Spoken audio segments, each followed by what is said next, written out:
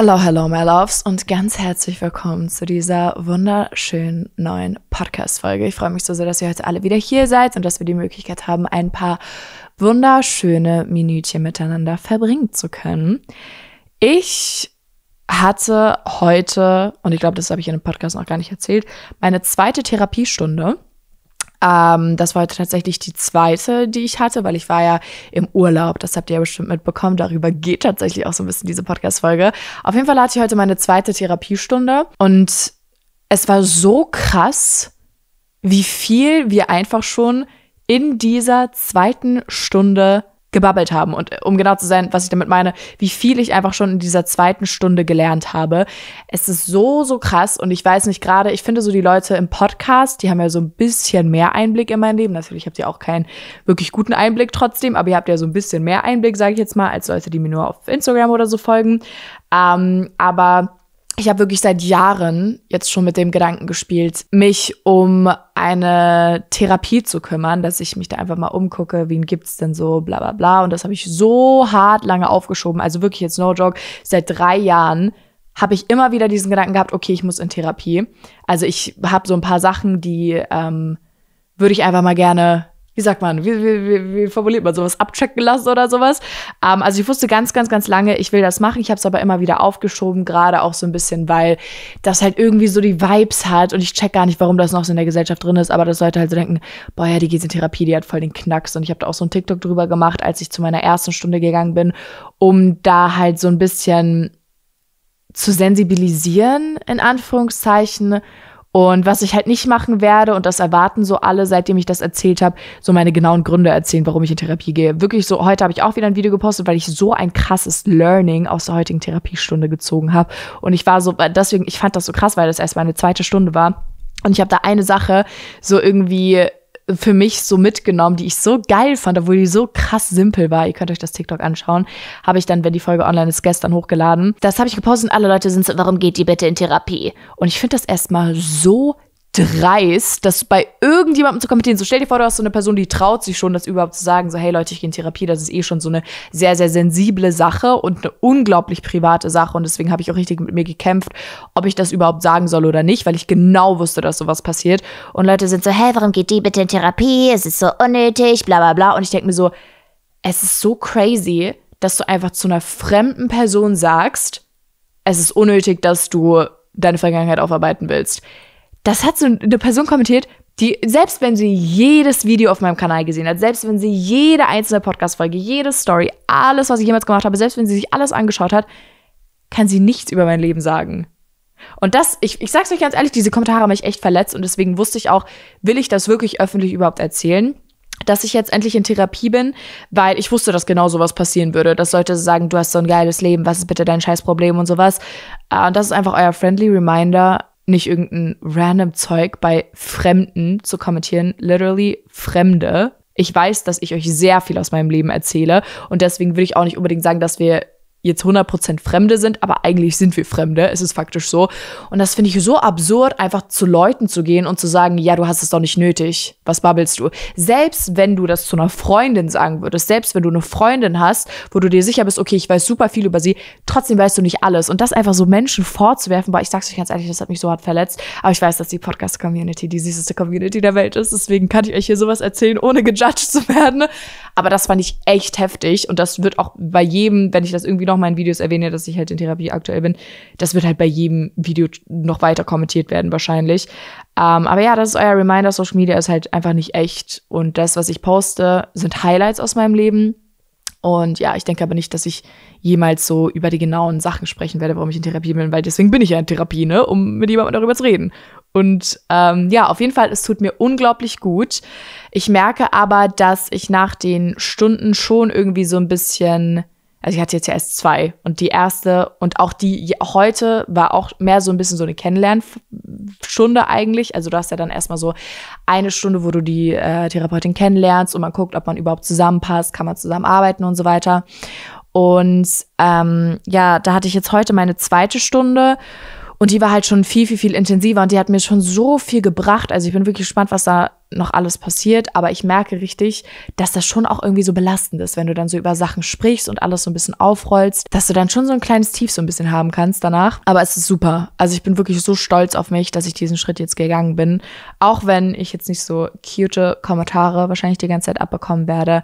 Aber das Wichtigste ist, dass es mir gut geht, denke ich mir. Und ähm, ja, dieses Thema Therapie sollte nicht so als so was Abnormales angesehen werden, dass du voll der Psycho bist, wenn du in Therapie gehst und dass du richtig einen Schuss hast oder sowas, sondern ähm, ich finde es unfassbar wichtig zu erkennen, wenn man irgendwelche Probleme hat und man kommt äh, mit irgendeiner Sache einfach gar nicht mehr klar und man merkt, ich brauche wirklich einfach Hilfe und diese Hilfe kann total anders auch aussehen. Es muss ja nicht gleich eine Therapie sein, aber es kann ja auch einfach nur ein Gespräch mit irgendeiner vertrauten Person oder sowas sein. Das aller, allerstärkste, was ihr machen könnt, ist wirklich immer euch Hilfe zu suchen und das war jetzt für mich so die letzte Option, sage ich mal. Und ich wusste auch für mich die beste Option. Und deswegen, ja, ich bin einfach froh, dass ich es endlich gemacht habe. Und ich habe es euch im Podcast noch gar nicht erzählt. Aber ja, deswegen wollte ich euch das einfach ganz kurz sagen.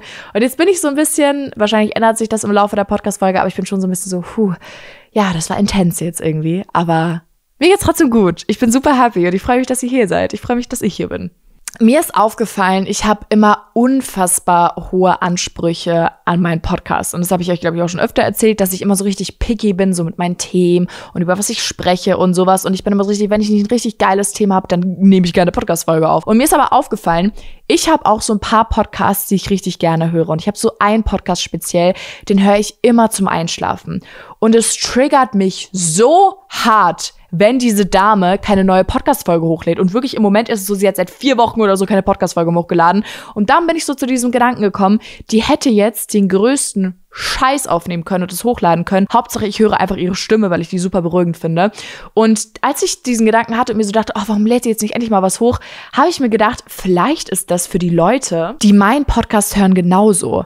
Also, dass die sich manchmal gar nicht denken, okay, wir brauchen jetzt mega das anspruchsvolle, geile Thema wir wollen einfach nur Felis Stimme hören. Also ich hoffe natürlich, dass es für den einen oder anderen so. Aber ich denke schon, wenn du so einen Podcast hast, den du so richtig oft hörst, so regelmäßig, dann ist es gar nicht immer so wichtig, dass du jetzt so ja, weltbewegende Themen hast, sondern ich glaube, dass es einfach nur so ist, du hast jemanden, dem du zuhören kannst. So ist das mir zumindest, wie gesagt, aufgefallen. Und deswegen dachte ich mir, ich darf nicht immer so streng sein. Zum Beispiel für diese Woche, ich hatte eigentlich kein Thema, über das ich spreche. Und dann dachte ich mir, Alter, ich war jetzt zwei Wochen in New York, in Paris und danach in einem Freizeitpark. Ich habe sehr viel, über das ich sprechen kann.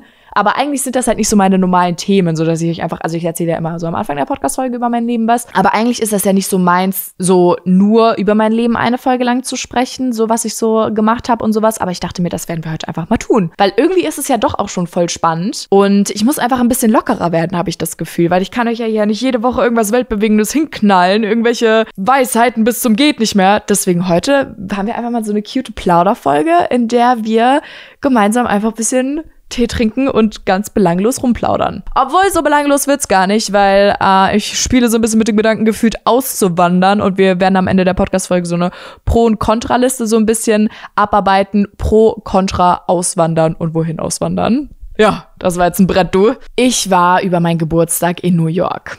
Und New York, ich weiß nicht, was es ist, aber ich bin so obsessed mit dieser Stadt. Ich habe wirklich ich glaube, das habe ich in der letzten Podcast-Folge sogar schon mal zu euch gesagt. Ich bin mir aber nicht sicher. Vielleicht war es auch in einem TikTok. Ich war letztes Jahr in New York und ich konnte nicht aufhören, über diese Stadt nachzudenken. Ich habe mir Videos angeguckt. Ich habe mir vorgestellt, wie da ein Tag in meinem Leben aussehen würde, wenn ich da jetzt nochmal wäre. Ich habe so einen Film die ganze Zeit in meinem Kopf über New York geschoben. Und dann dachte ich mir, okay, weißt du was? Du gehst jetzt einfach nach New York über deinen Geburtstag. Und ich würde sagen, ich bin gar nicht so die spontane Maus, weil ich schon gerne immer so Sachen ein bisschen durchplane. Aber das habe ich dann einfach gemacht und das war für mich auch schon so ein größerer Schritt, weil ich war noch nie an meinem Geburtstag nicht zu Hause. Also das war auch so das erste Mal, dass ich alleine sozusagen meinen Geburtstag gefeiert habe. Also mein Freund war mit dabei in New York. Aber das war für mich auch schon so ein bisschen so ein Step und es war auch mein 20. so ein runder Geburtstag und so. Aber ich dachte mir, nee, Alter Feli, du hast jetzt auf dein Herz und dein Herz will offensichtlich seit Ewigkeiten nach New York. Habe ich mich gefreut wie ein kleines Kind. Ich habe die Reise gebucht und dann waren wir dort Und ich wünschte, ich könnte euch mit Worten beschreiben, wie unglaublich New York ist. Also wirklich jeder, der auch schon mal dort war, sagt, es ist so krass dort. New York ist so ein Feeling einfach. Es ist irgendwie so, ah, ich weiß nicht, das ist so einer von diesen Reisezielen. Aber über New York, es gibt ja auch sehr viele TikToks und sowas. Und oft wird das halt so sehr krass romantisiert und sowas. Und dann bist du da und denkst dir so, what the fuck is this? Like, what's going on right now? Aber das war wirklich so für mich sogar noch besser, als ich es mir in meinem Kopf jemals hätte vorstellen können auch unser zweiter Trip, weil man meint ja vielleicht, okay, ich war schon mal eine Woche dort, dann ist das zweite Mal bestimmt nicht so cool. Aber in der ersten Woche, also als wir das erste Mal da waren, mein Freund und ich, haben wir halt so hauptsächlich so ein bisschen so die typischen Sachen gemacht. Wir waren einmal im Central Park, die Brooklyn Bridge sind wir abgelaufen, dann waren wir in der Shopping Street, wo ganz viele shoppen gehen und so weiter. Wir haben so ein bisschen diese Touri-Sachen abgeklappert und dann waren wir so, okay, jetzt sind wir richtige New Yorkians. Das kennen wir schon richtig aus und das zweite Mal werden wir jetzt nur so richtig coole Sachen machen. Und ich erzähle euch einfach mal, auch so als Guide, wenn ihr vielleicht irgendwann auch mal in New York sein solltet, was wir so gemacht haben. Also wir haben uns aus irgendeinem Grund richtig, richtig krass in Chinatown verliebt.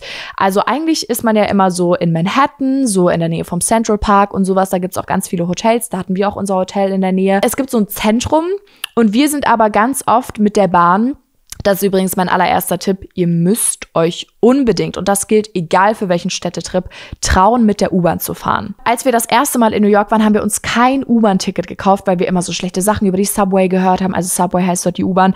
Und ähm, ja, das ist so schlimm, das ist bestimmt voll gefährlich und sowas. Oh, scheiß drauf, wirklich macht das einfach. Wir haben uns dann so ein Wochenticket für dieses Mal geholt und wir haben so viel gesehen. Beim ersten Mal waren wir so voll auf unsere Beine halt angewiesen, wo wir halt hingelaufen sind. Das haben wir dann gesehen. Und da beim zweiten Mal, wir waren so frei. Das hat 34 Euro gekostet, das Ticket, 34 Dollar. Und dadurch konnten wir so viel sehen. Und wir sind am allerersten Tag direkt nach Chinatown gefahren.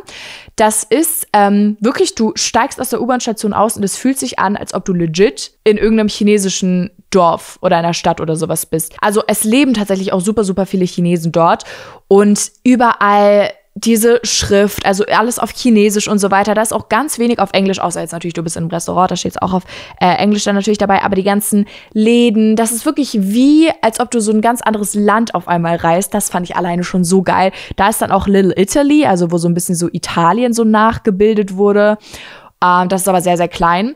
Und da sind wir dann eben in Chinatown immer ganz viel rumgelaufen. Wir haben so Sponge Cakes gekauft, heißt das. Du kriegst halt super, super günstiges, aber geiles Essen, ne? Also richtig, richtig leckeres Essen. Wir waren auch immer in so einem Nudelrestaurant, wo wir für drei Dollar so Erdnussnudeln gekauft haben. Dann eben so Sponge Cakes. Das sind so ganz fluffige Cakes, die machst du so auf und da haben die so eine irgendwie rote Farbe oder sowas drin, je nachdem, was du dir für eine Flavor gekauft hast. Wir haben zum Beispiel immer Strawberry und so Chocolate und sowas.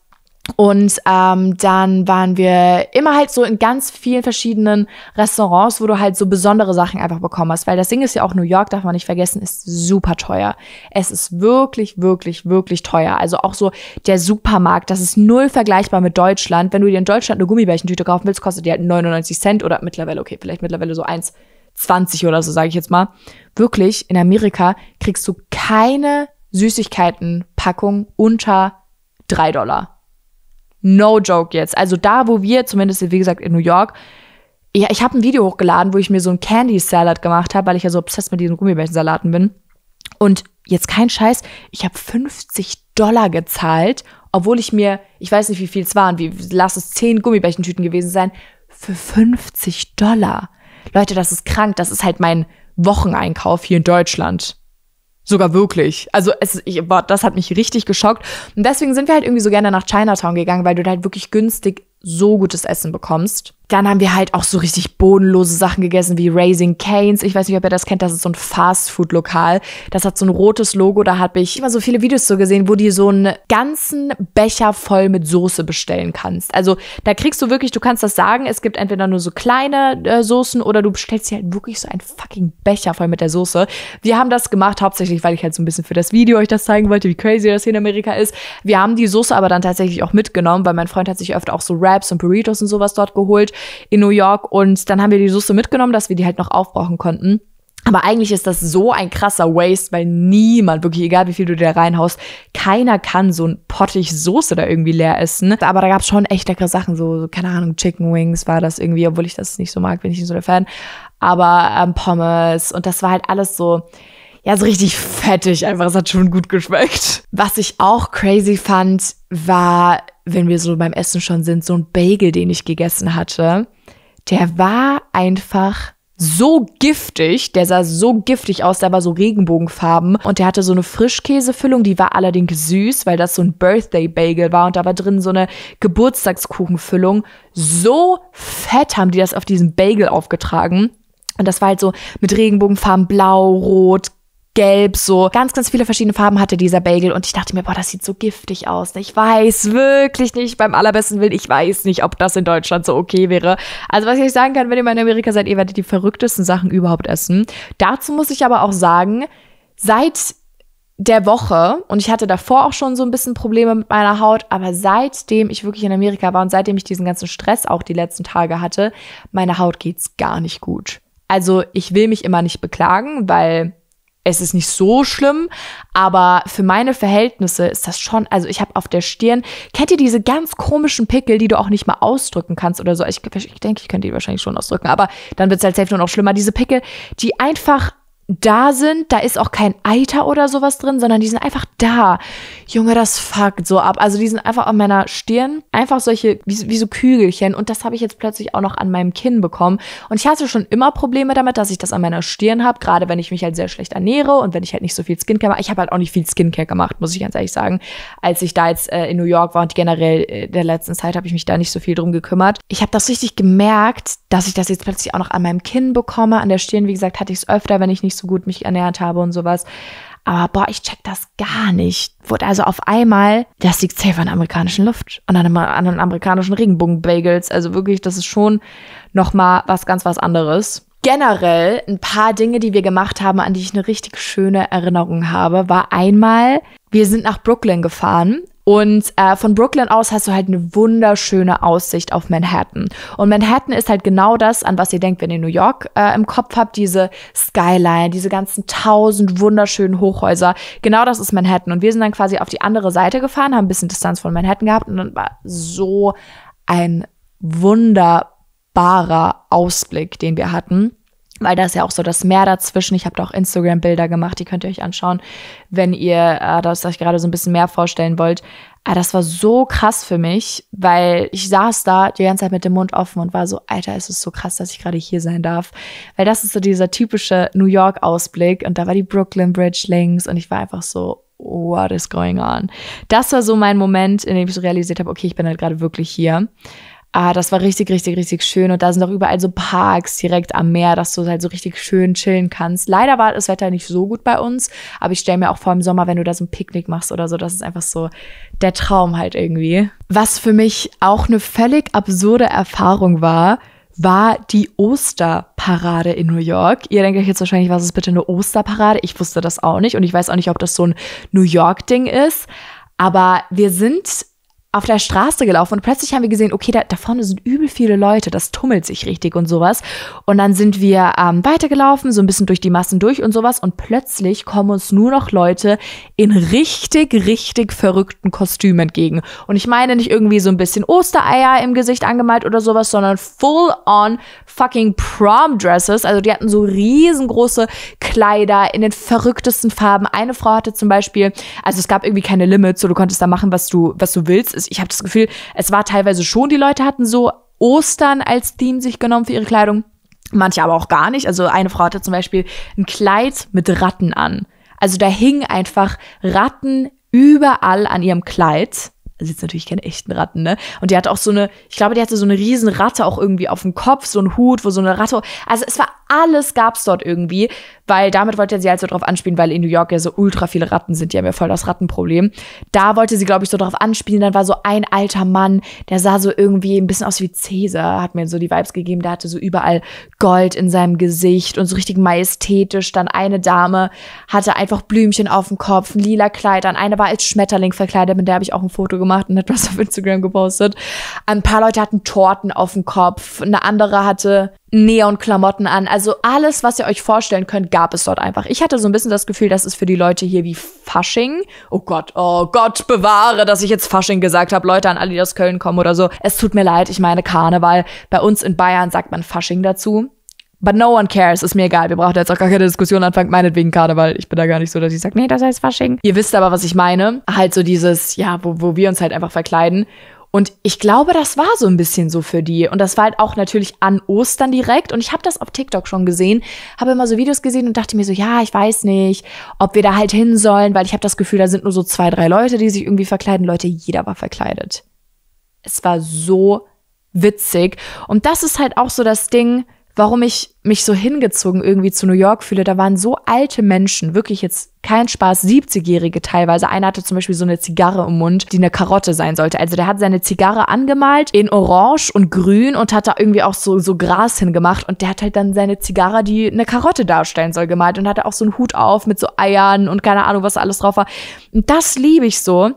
Weil, sorry, aber in Deutschland würden keine alten Leute sich so in Anführungszeichen so zum Affen machen oder so bei so einer Osterparade so dolle mitlaufen. Also, das ist halt so mein Feeling. In New York sind einfach alle so locker und so, glücklich irgendwie. Also als wir auf dieser Parade gelaufen sind, alle Leute waren so happy. Und was mir für immer in Erinnerung bleiben wird, ist, wie unglaublich viele Komplimente ich in Amerika bekommen habe. Ich habe mir das sogar aufgeschrieben, die Komplimente, die ich alle bekommen habe. Ich weiß nicht, ob das weird ist, aber es ist mir eigentlich auch egal. Ich habe mir jedes einzelne Kompliment aufgeschrieben und ich werde euch jetzt sagen, was ich für Komplimente bekommen habe. Ich war im Urban Outfitters und dann haben mir zwei Mädchen so gesagt, die sind einfach an mir vorbeigelaufen und sie war so, so ein bisschen so fast schon so beiläufig, also als ob es wirklich nichts Besonderes wäre, weil in Amerika ist das auch nichts Besonderes. Sie so, oh my god, but your outfit is everything. Und ich war so, oh, was? Äh, was hast du gerade gesagt? Die Leute trauen sich das dort einfach. Sie hat mir also auf Deutsch gesagt, oh mein Gott, aber ich liebe dein Outfit so sehr. So ungefähr übersetzt. Und in Deutschland, wenn ich genau dasselbe Outfit angehabt hätte, niemand hätte sich getraut, mir zu sagen, wie cool mein Outfit ist. Als ich in einem Schmuckladen war, hat mir die Mitarbeiterin dort gesagt, oh mein Gott, I love how you stack your jewelry, I love your jewelry taste. Das hat so auf Deutsch meinte sie halt, ich lieb's, wie du deinen Schmuck miteinander kombinierst und du hast so guten Geschmack, was Schmuck angeht. Und ich war so, oh mein Gott! Dann hat mir ein Hotelmitarbeiter gesagt, your smile is so beautiful. Dein Lächeln ist so wunderschön. Und die Story habe ich auch schon auf TikTok erzählt. Mein Freund hat Bilder von mir gemacht und dann ist eine Frau an uns vorbeigelaufen, die war auch schon wirklich älter, die war safe so 45. Und dann hat sie meinem Freund so zugerufen, you should take more pictures of her, she looks awesome. Also so, du solltest noch mehr Bilder von ihr machen, sie sieht so toll aus. Und ich war so, oh, oh my god, thank you, thank you so much, you too. Ich habe mir, wie gesagt, diese Komplimente extra aufgeschrieben, weil mich das so glücklich macht. Also das hat mir so viel bedeutet das, also, dass mir das Fremde einfach sagen, ich weiß nicht, das hat mich so fertig gemacht irgendwie. Ich weiß nicht, ob ihr davon auch schon mal gehört habt, aber Leute sagen ja irgendwie immer so Amerikaner sind so richtig oberflächlich und sowas. Also auch wenn man so Komplimente bekommt, ist es halt alles so oberflächlich gemeint. Aber ich denke mir so lieber oberflächlich als tiefgründig böse, so wie in Deutschland. Legit, ich bin dann auch wieder so in Deutschland gelandet und da war direkt so ein alter Opa, der mich so angepisst hat. Also der auch so einfach frech war und immer so diese, ach, keine Ahnung, aber das habe ich sehr genossen, so diese Offenheit. Und selbst wenn es oberflächlich war, ist mir doch egal. Es gibt mir trotzdem gute Vibes. Deswegen habe ich mir jedes einzelne Kompliment aufgeschrieben. Und ich muss aber auch sagen, klar, ne, Deutschland ist natürlich was anderes, aber man muss den Deutschen auch Credit geben. Ich war dann im Flugzeug und da war eine deutsche Flugmitarbeiterin eine Stewardess und die war schon so die ganze Zeit so super cute und wir haben uns immer so angelächelt und sowas und dann am Ende, als wir rausgelaufen sind, meinte sie so zu mir, ja, ich kenne dich und du bist so super authentisch und so sympathisch und ich dachte mir so, oh mein Gott, das ist auch in der Liste mit drin, weil ich das so cute fand und das hat mich auch so sehr gefreut. Deswegen, in Deutschland kann sowas schon auch passieren, aber es ist mir halt so auffällig oft irgendwie einfach in dem Urlaub passiert. Das hat mich einfach gefreut. Eine andere sehr krasse Experience, die ich an meinem Geburtstag selbst hatte, war eine Broadway-Show.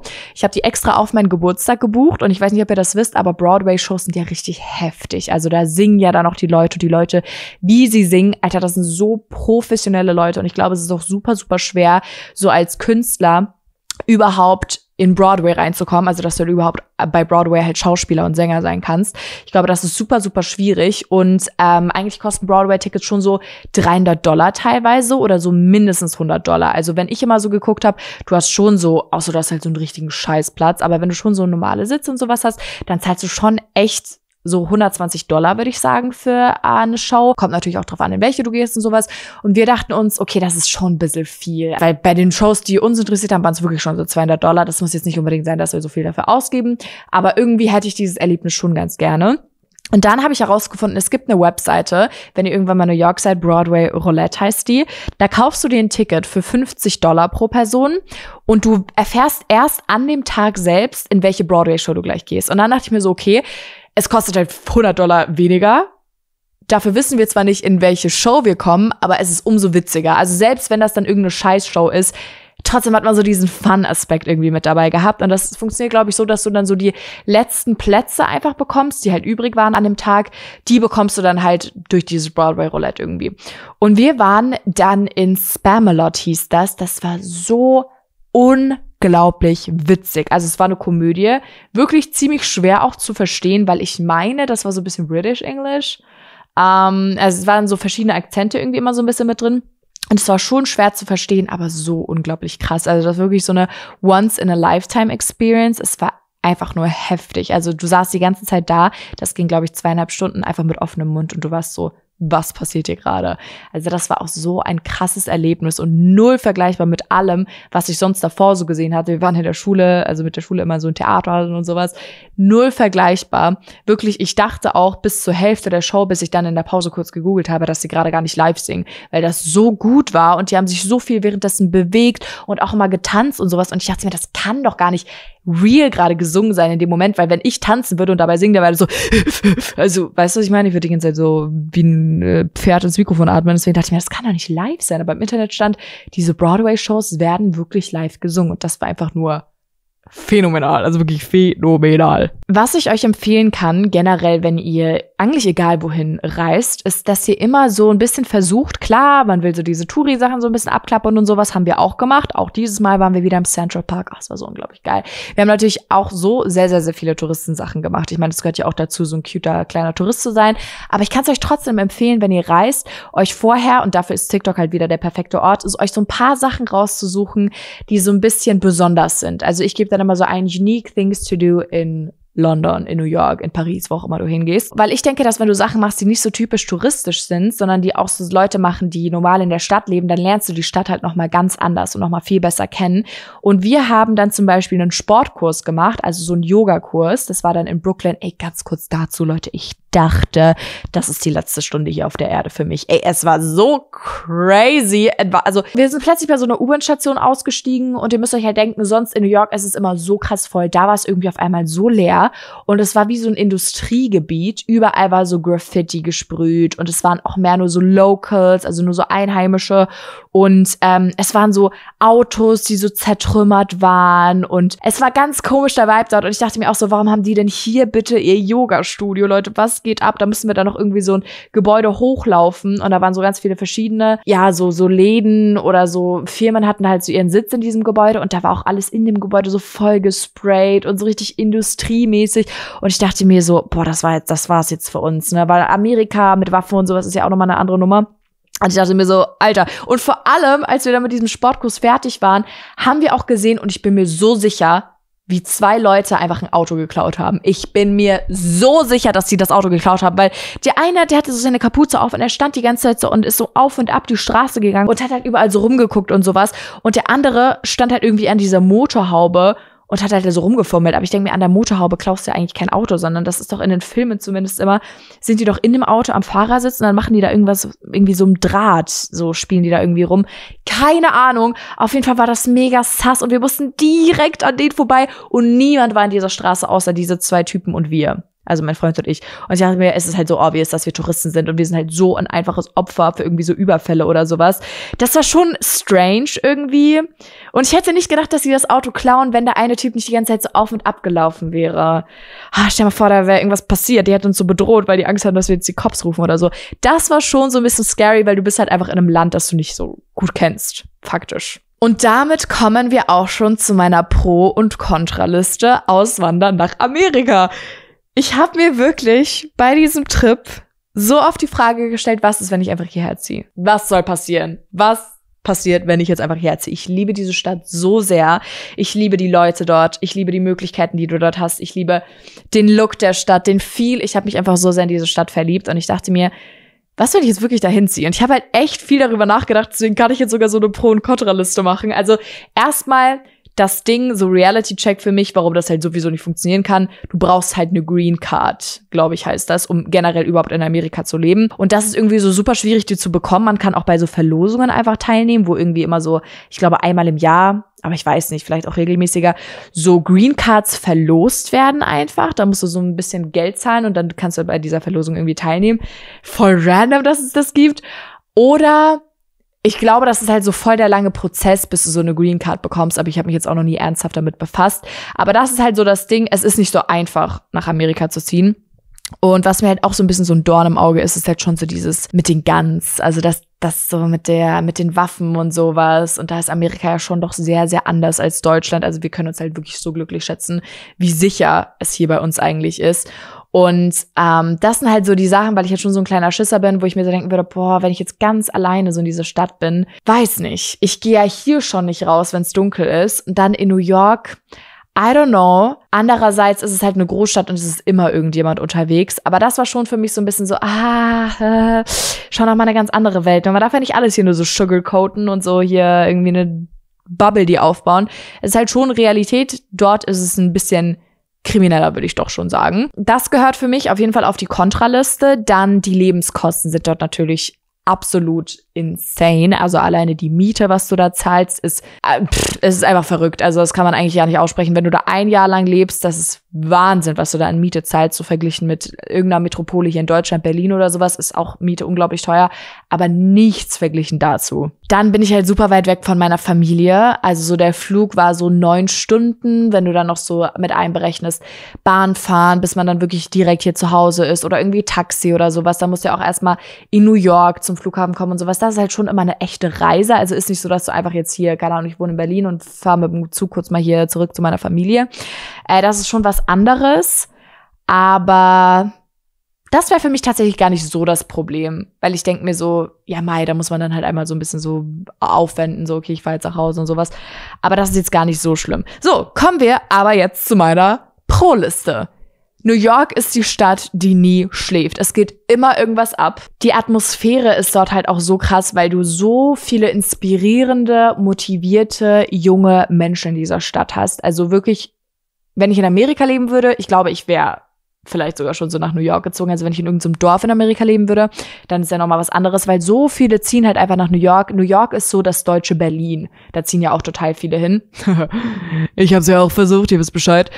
Ähm, aber da sind halt so viele junge Menschen, die alle Bock haben, jemanden kennenzulernen, sind alle total offen für neue Freundschaften und sowas. Das spürst du dort einfach richtig. Alle sind so voll outgoing. Central Park. Central Park hat's mir halt irgendwie auch so richtig angetan. Also da waren mein Freund und ich wirklich auch oft. Und das ist so crazy, weil da siehst du auch so die Leute, wie sie einfach Sport machen. Wir haben so einen gesehen, der hat so Calisthenics gemacht. Ich weiß nicht, ob ihr wisst, was das ist. Das ist so Kraftsport, aber nur mit deinem eigenen Körpergewicht. Und Leute, die so Calisthenics richtig gut machen, die können so Handstand einfach für gefühlt 15 Minuten halten. Der hat sich die ganze Zeit irgendwie so vom Boden komplett aufgedrückt in den Handstand und dann wieder runter und dann wieder hoch und dann wieder runter. Das hat er richtig oft hintereinander gemacht. Und ähm, du siehst Leute, die da Yoga machen. Du siehst Leute, die mit ihren, oh Gott, mit ihren Hunden. Don't get me started on the dogs. Leute, die Hunde dort. Oh, ich könnte. Nee, darüber kann ich auch eine eigene Podcast-Folge machen, wie süß diese Hunde dort sind. Jeder New Yorker hat gefühlt einen Hund. Und meistens diese Pudel, diese kleinen braunen haben die meisten dort. Oder auch so, so ein bisschen wie Bella. Ihr wisst ja wahrscheinlich alle, wie Bella aussieht so Bolonkas, Malteser, so in diese kleine Hunderichtung. Oh, da habe ich so viele von gesehen. Und die haben dann auch im Central Park so eine eigene Area, wo Hunde dann auch ohne Leine miteinander spielen können. Und das war so süß zu sehen, wie die sich so gegenseitig hinterhergerannt sind und sowas. Und da ist mir einfach das Herz aufgegangen. Es fühlt sich einfach an wie so eine Parallelwelt dort irgendwie. Man darf da ja zum Beispiel auch die Autoscheiben komplett tönen. Das wäre in Deutschland undenkbar. Also da muss ja, man darf ja in Deutschland hinten die Scheiben tönen, aber vorne muss ja die Scheibe komplett normal ähm, durchsichtig sein. Und in Amerika habe ich so viele Autos gesehen, die komplett getönt waren. Da konntest du 0,0 reingucken, wer da gerade drin sitzt. Also wirklich auch, wenn das Auto direkt vor dir gerade stand, du konntest null reinschauen und die Person erkennen.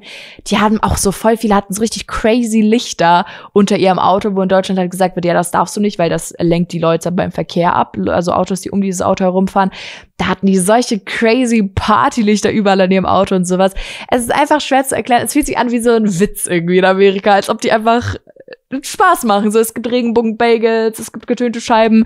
Also es fühlt sich an, als ob das einfach alles ein Joke ist, weil das so irgendwie so vieles einfach undenkbar bei uns ist.